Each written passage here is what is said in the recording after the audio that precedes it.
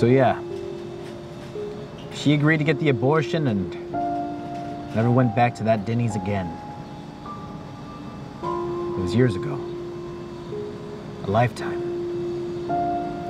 You still have to buy me a new cell phone, Rex. Oh, come on, Allie.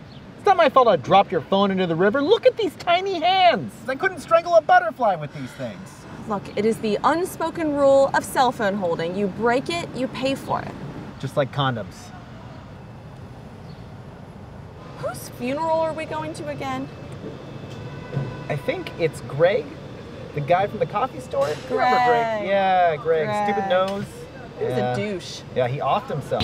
Take me back to the start